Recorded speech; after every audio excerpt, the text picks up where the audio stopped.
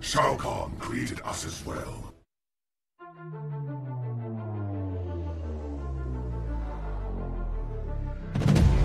You cannot kill what is already dead. Magic binds me still.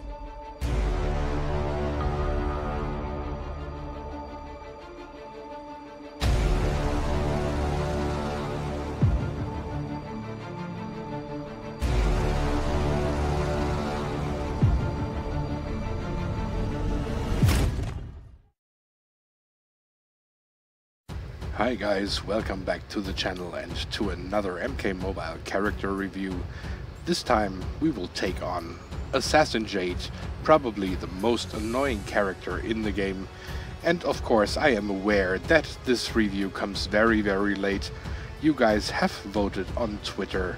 And that was almost a month ago by now. But I guess you can imagine how it goes. We had a new update, then we had issues with the update, then we had to cover the update. In between, we had several challenges and of course then reviews for the challenge characters. So I'm very very sorry that it took me so long, but now let's get right into the review. Assassin Jade coming up for you guys. Enjoy!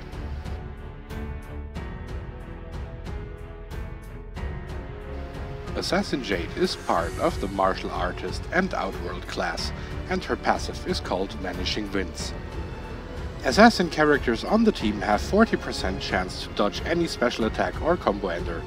Jade retaliates with an unblockable crippling attack that deals high damage. Assassins do 10% more damage versus Circle of Shadow.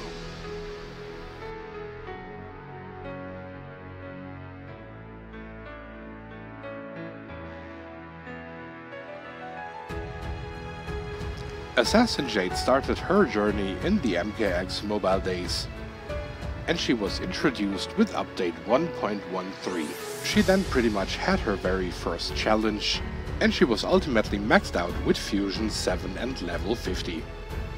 Her original passive was called also Vanishing Winds, and it stated Jade has the chance to dodge any special attack or combo ender, after which she retaliates with an unblockable crippling attack. Jade's teammates can tag in at a much faster rate. Of course she was part of the challenge pack and if you wanted to buy her after unlocking her from the challenge, you could buy her in the store for 421 souls. Later then the level cap was raised to Fusion 10 and level 60 and even later than with update 2.0 she became Diamond.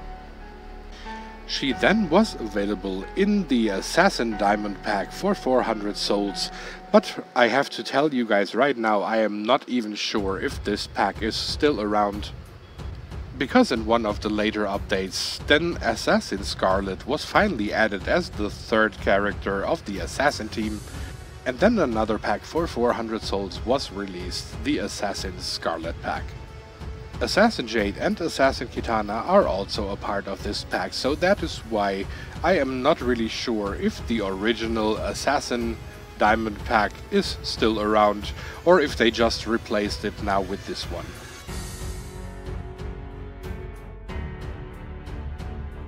Jade's gear piece is the Bojutsu staff and it gives you 25% critical hit chance boost Every missed attack boosts Jade's attack damage by 60%, which is for Jade characters only, and 25% damage boost against enemies affected by bleed or poison.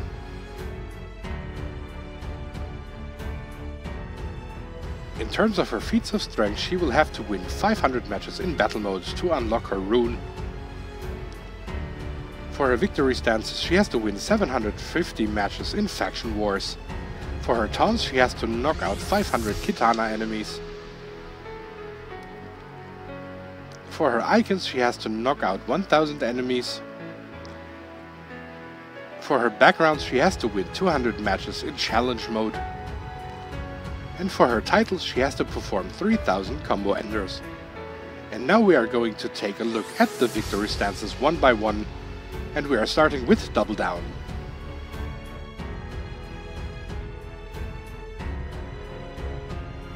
Next up we have No Chance.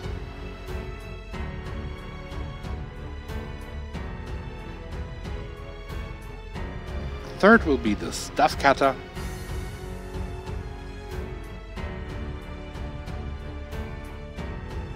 And exclusive for Assassin Jade is Now You See Me.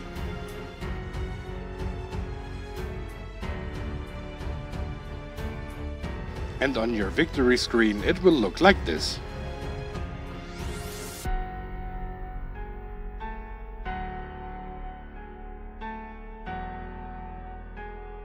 Now I'm going to show you all of her backgrounds.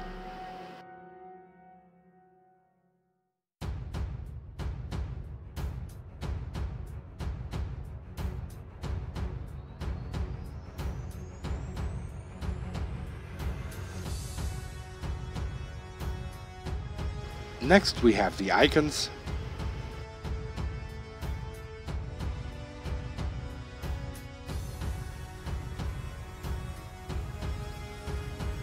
And finally the titles.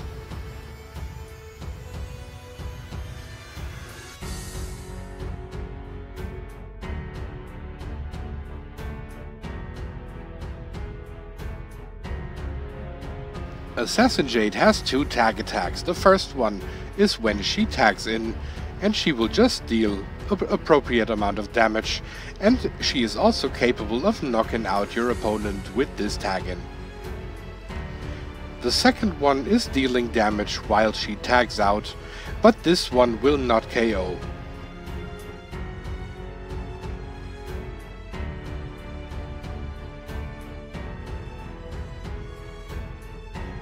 Assassin Jade has two kinds of combo enders. The first one is a low mid and it knocks the enemy down to the ground.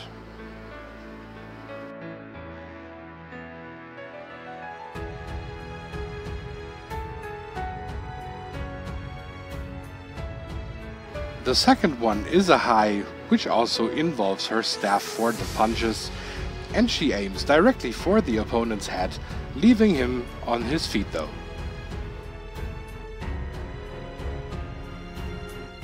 Her basic attacks can also easily be chained.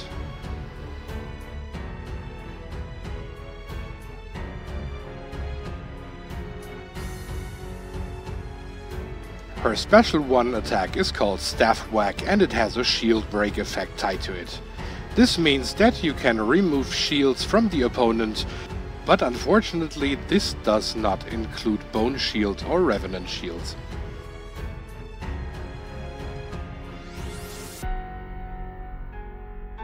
Her special attack two is called Spinning Staff and it has a blindness effect tied to it. It deals a high amount of damage and just as her special one, this attack is capable of KOing your opponent. In case the opponent survives this attack, he will be suffering from blindness and his basic attacks may whiff a lot.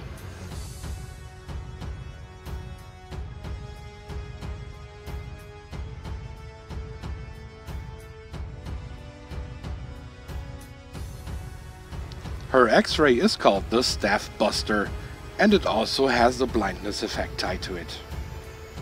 This one already looks very painful on females, but on male characters it looks even more extreme, turning almost male characters into females.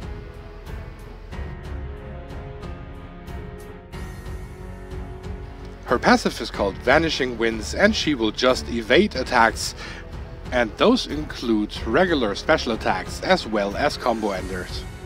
The crippling effect after the retaliation is very very useful, simply because the opponent cannot use his special attacks for quite a few seconds. And now it's time to recommend some gear for Jade and my first choice would here be the Bladed Fan. And yes, I'm pretty aware that I'm bringing this up now in almost every review, but that is simply because this gear piece is so incredible, because it does not only block break on basic attacks, but also gives you the chance to heal on special ones, and given the high damage of Jade's special one attack, imagine the heal effect. Another one, and I found this one always very mean on Jade, is the Bloody Shogun armor, because it's already so hard to take her down, and even if you get through and she uh, manages to block the attack, then reflecting back the damage is just sadistic. But it can get even meaner, and that is if you put the Moloch's ball and chain on her. Moloch's Ball and Chain has a chance to break up the block on special attack use, which basically means that her special 2 pretty much instantly becomes unblockable given the many hits that it deals. And on top there is a chance for lethal blow attacks, and now imagine that Jade evaded a few times, gets a few times that 60% damage boost, and on top deals lethal. Good night. Shao Kahn's helmet will not only boost her health, but it will also boost the crit chance by 40%. If you play this gear piece together with her staff, that's already a 65%. And you already might have guessed it, the very best gear piece to put on Assassin Jade is of course her Bojutsu staff. This piece of gear will not only guarantee that she becomes stronger with every evasion, but it also will work very well together with the Shao Kahn's helmet for example, or you can put a block breaker like the Vial of Infinite Blood on her, and once one of the combo enders causes bleed, the staff will also amplify the damage boost. In terms of character recommendations, of course, the closest would of course be Assassin Skarlet, and the other assassin, Assassin Kitana, since those three are a team together. Both of these characters are causing bleed. Skarlet, for example, directly at match begin for 15 seconds, and Assassin Kitana every time she tags in. Although Jade might benefit here basically only from Skarlet, because Kitana only applies the bleed on tag-in, and until she is able to tag back to Jade, that bleed effect might be gone until Jade entered the battlefield again. But thanks to Kitana, Jade will have a 30% increased power generation rate. My third recommendation, and that's not necessarily somebody who amplifies Jade, but that's classic Raiden simply because they work so well together. Both of these characters are very deadly and if you tag around between those two, they will just wreak havoc in Faction Wars. Character number 4, and that is again because of her passive, is Vampirus Mileena. You just have to wait long enough until she causes bleed via her passive and then just tag to Jade who wears of course her staff and then has the damage boost against bleeding opponents. My favorite teammate for Assassin Jade though, and that is also because of the passive, is Classic Reptile. On tag-in, opponents can be poisoned immediately, which also gives Jade that damage boost.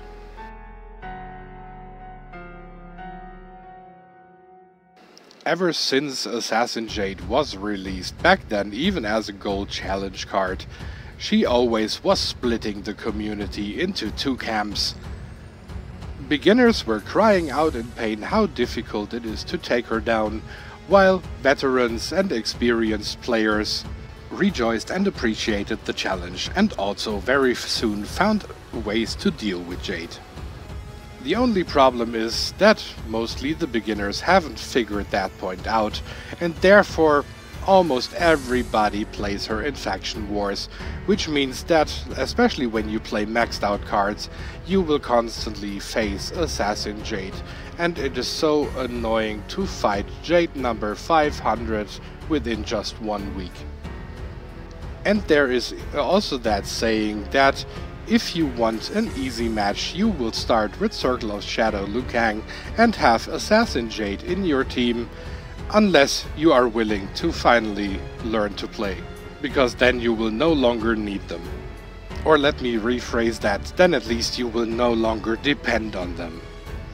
And now it's time for the pros and cons again, and my first pro is of course that she has the chance to evade attacks. This is very much in the player's favor if it happens, but I tell you right away, if you are just looking for Jade because she can do that, then you might not be that satisfied. After all, because this evasion mechanism works 10 times more in the favor of the AI, and you will see the AI evade attacks 8 times, 9 times, 10 times in a row, and when you as the player are waiting for the evasion, you can be happy if it happens like 3 or 4 times during an entire hard battle. My second pro is the high damage output both special attacks deal Especially already Special 1 deals so much damage that you in most cases don't even need to hit her up to a Special 2, because the Special 1 will be already enough to deal with your opponent appropriately. And third, I would choose both debuffs. Maybe I would even go up for all three, including her passive, but starting with the shield break, which is already super useful, especially when you are facing characters like um, Shao Kahn after his X-Ray or Sonya Blade after X-Ray, Tremor. Um, then how about characters who also have a shield like Circle of Shadow Kung Lao or Nightmare Freddy Krueger? As long as these guys are trying to protect themselves with their shields, Jade will just launch one special one and can deal normal damage again. So now let's get then into the negatives and my very first negative would already be the annoying AI, which I already mentioned. The AI gets the advantage with tons of evasion chances, while the player doesn't have this benefit at all. And that was already the case, as she was just a gold card, so she was already annoying enough, making her diamond was just a slap in the face. But by any means, she is not perfect at all because she has very huge gaps in her basics, which enables us to deal with her quite easily and take her down without bigger problems. Some interruptive gameplay here, some strategy there, and Assassin Jade is history. And as I already mentioned, she is everywhere. Every player who is not willing to invest time to learn other characters just plays these safe characters and that makes the game at times pretty boring. Because I, as I already said, if you manage to handle Jade, then she is no longer a threat and you will constantly see the same characters over and over, instead of the entire variety the game has to offer. So at this point I would really love to inspire you guys to learn other cards instead of just using the same old candidates over and over again. The game does not consist of only 5 characters once you play maxed out teams. Assassin Jade is absolutely incredible for absolute beginners, but once you reach level 60 please man up. There are so many fun characters in the game so please learn them and enjoy it. So now it's time for the rating and my final rating for Assassin Jade will be a solid 8 out of 10. She is right at the brink between good and great, especially because of her evading chance. If it works, it's fun. All the way from her tag in to the evasions to the debuffs. Also the design is good so there are many positive things to be found in Assassin Jade, and she deserves a high rating without any doubts. But we once again now reached the end of this review, and I really hope that you enjoyed it. Once again, I'm very sorry that it took me that long, but sometimes there is really a lot of stuff going on in MK Mobile. At the end of this video I will link you to my other video I did on interruptive gameplay so you actually can see how to deal with Jade appropriately. And now I can only say stay safe and healthy. Thanks for tuning in again. Casey over and out for today. Thank you for watching Realm. If you enjoyed the slaughter and the bloodshed, you can support the channel by clicking on the like button. You can also click on one of the two videos presented by Baraka here. Also make sure that you are subscribed and click the bell notification icon to be notified upon new uploads. You all know the drill. Wound not kill, have a good one, and see you next time.